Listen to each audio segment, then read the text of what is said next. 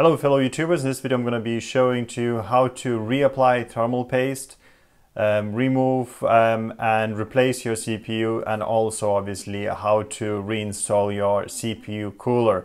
And these are the items that you would need. Now starting from most obvious, this is anti-static wristband.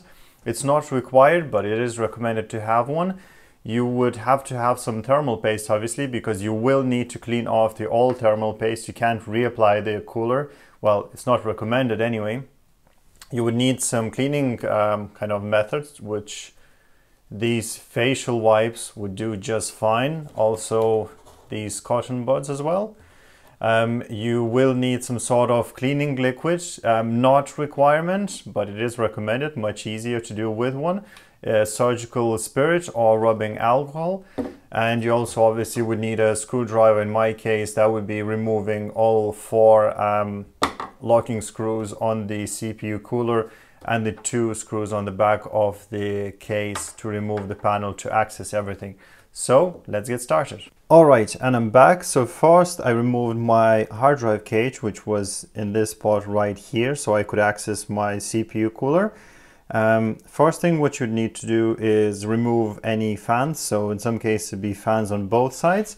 So I'd remove the fan first. To do that I would need to unclip these things. Now I can't reach the bottom one really in the small case. So I would use something like that to simply undo that. And once that's done, you're able to remove the fan.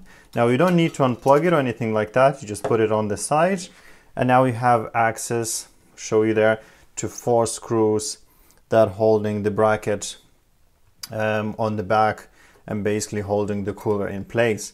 And to undo this, you simply need to undo all the screws. Now usually I would do it the way I installed it. So use the opposite corners. So loosen it here, then loosen on the other side and then do the same right here. Okay, now that everything is loose, um, I wouldn't advise you to just pull it out, just wiggle it a bit, and then it just goes. So wiggle it a bit and then pull it up. Now, when you're putting it down, I'd say twist it around because you do have lots of thermal paste on there. You just put it aside. Now, to remove the CPU, you just push this retention bracket down, push it to the side, and then just release it. That's it. And then you keep pushing it that way. That lifts up that thing. And then you re release the whole mechanism and this is your CPU. Now, this is a good reason to ground yourself before touching it. Now I'm grounding myself, but do make sure that you do the same and this is the CPU. Do hold it by the sides, don't touch the bottom, no need for that and that's how it is. Now for that I basically would use something like this and place the CPU nicely on the pad. And that's it. So for the moment um, you're ready basically to install your new CPU and to reapply the thermal paste. Before you apply the thermal paste, I'm going to show you how to remove the old one. Alright, and I'm back. So we're going to start with the obvious one, which is the cooler itself. So basically use the clean pad I would recommend in the beginning and remove as much of it as you can. Now guys, be careful because this stuff really would stain your clothes or anything like that. So make sure you're working on the surfaces where nothing can be affected so you wouldn't be needing to throw things away. Okay, so that's one. Obviously, once you're finished, once again, throw it out somewhere so it wouldn't affect your work surface or anything like that. Now next, what I would usually do is clean it with rubbing alcohol, but we still have the CPU to clean, so we're gonna do exactly the same thing. Hold the CPU by its sides, like so, sorry, and just wipe it clean and make sure you just don't get it into crevices somewhere here. Now, it's not a big deal if this um, thermal paste does go on this green PCB because um, it's just thermal paste, but at the same time, you wouldn't want to go it on the contacts or anything like that. So just be careful and make sure you clean it thoroughly. Okay, So now that we have most of the stuff cleaned, what I would usually do is take some rubbing alcohol, apply it onto the pad, and clean the most delicate component, which would be the CPU itself.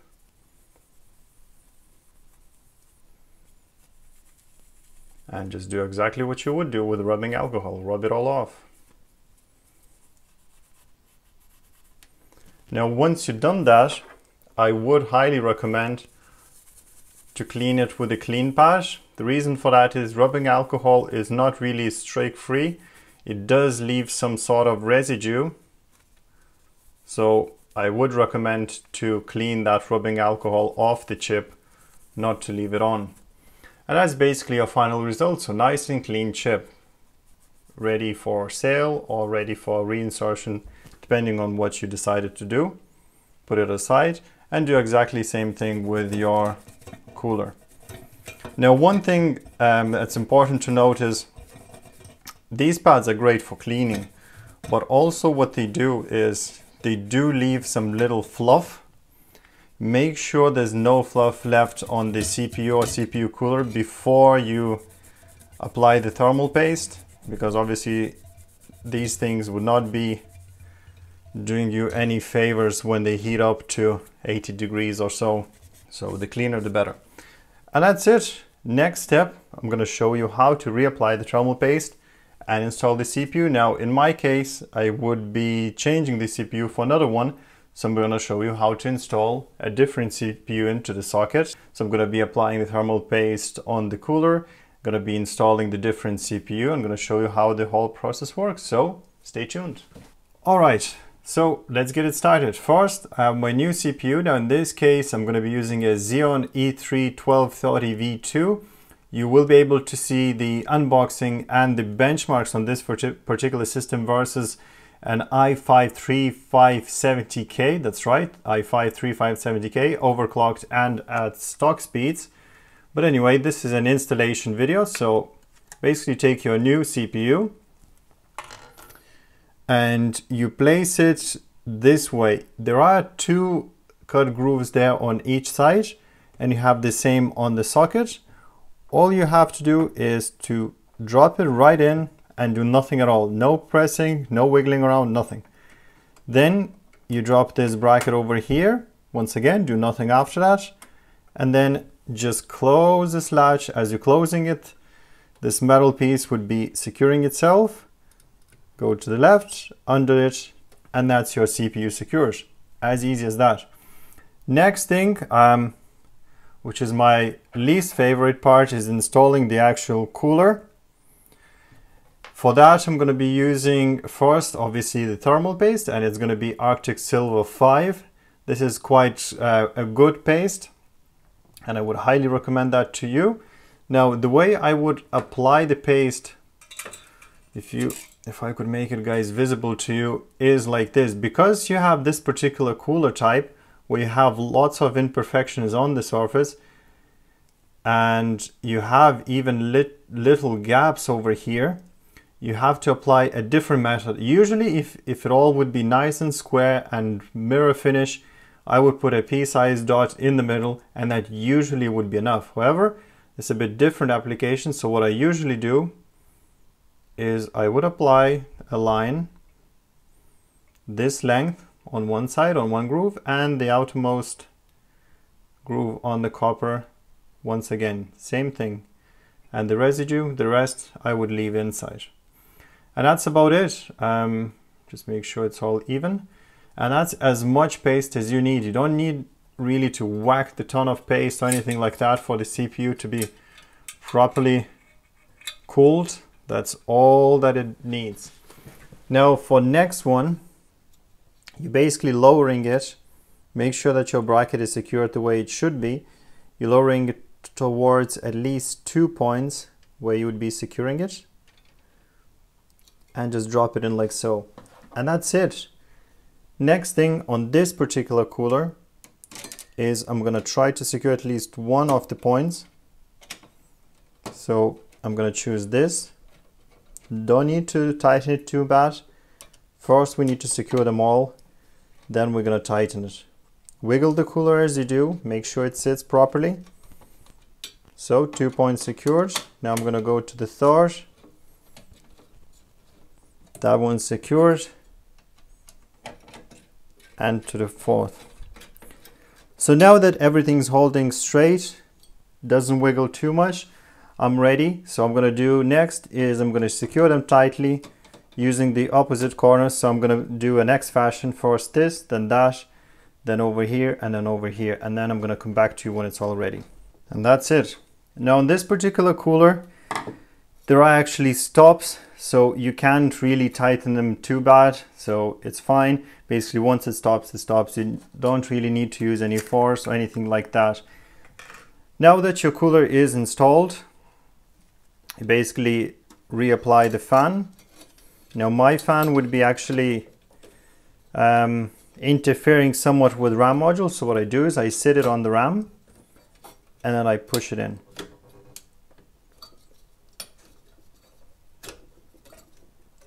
And that's it.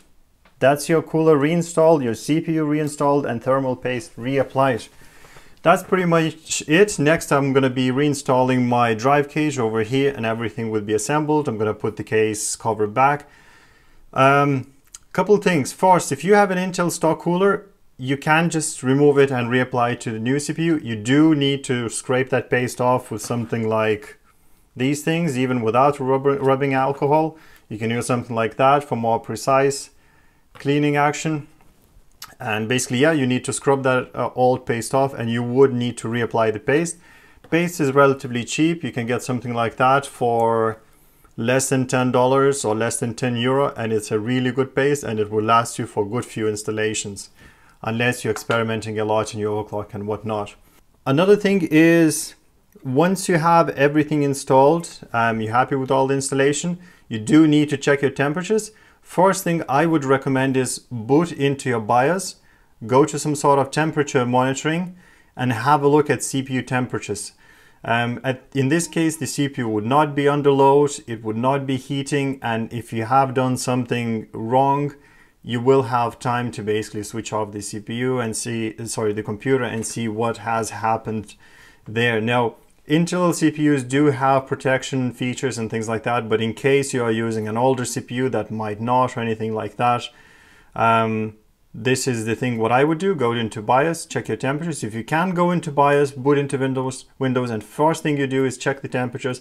If the temperatures are below, let's say 50, it's not too bad. Now, in my particular case, with the ambient room temperature of about 20, this CPU should be holding at 30, 35 degrees with this cooler, max. And under load, it should be holding at max about 60, 70 um, at most. If the temperatures are different, chances are you didn't apply the thermal paste properly. You need to do the whole process again. Or maybe the cooler is not sitting properly on the socket. Um, once that's done, once you're happy with these temperatures, you can do the load test. So basically test the CPU for say at least half an hour. I would recommend at least an hour on something like Prime 95, load test, and just leave it there and make sure that everything goes well. Monitor your temperatures, see that the temperatures didn't go over what you expected. And once everything is done, then you're 100% sure that you did install it right and now you can start running. For the temperature, by the way, you can use something like a Real Temp. It's a quite a good tool and it works every time and it shows the temperature of all your four cores. And this is more accurate than actually using third-party soft, uh, software or even an integrated like uh, Asus uh, AI suite. So yeah, thanks guys for watching the video. Don't forget to like and uh, subscribe for more videos to come. Comment the video, leave any questions in the comment section down below. And yeah, thanks for watching. Have a nice day.